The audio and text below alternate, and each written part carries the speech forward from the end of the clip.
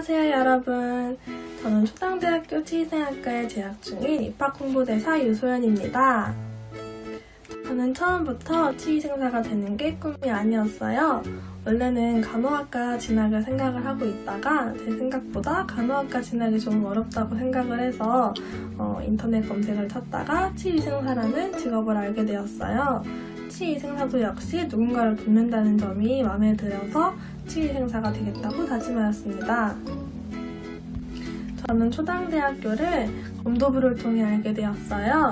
제가 취미가 검도인데 초당대학교가 검도부가 유명하더라고요.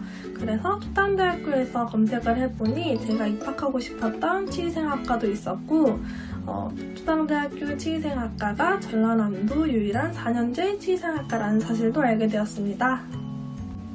우리 초당대학교 치위생학과의 장점이라 그럼 역시 실습실이 진짜 잘 되어 있습니다. 어, 실제 병원과 같이 정말 똑같이 되어 있고요. 어, 최신 기자재를 보유하고 있어서 실습을 하는데 어려움이 없었습니다. 그리고 글로벌 챌린지를 통해 해외 문화 탐방에 지원을 아끼지 않고 있습니다. 어려운 과목을 재미있게 강의해주시는 교수님들도 계시고 비교과 활동과 같은 교육 환경에서 학생들에게 많은 복지가 있다는 게 가장 마음에 드는 점입니다.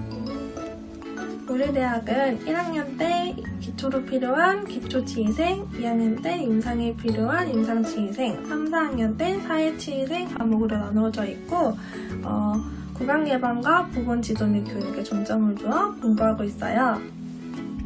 주로 대학병원이나 치과병원, 영무원, 교수, 공무원, 치과 유관기관 등 너무나 많은 취업문이 열려 있으니 예비 치위생사분들은 초당대학교 치위생학과에 오셔서 훌륭한 인재가 되는데 발돋움하셨으면 좋겠습니다. 초당대학교 치위생학과에서 만나요. 안녕!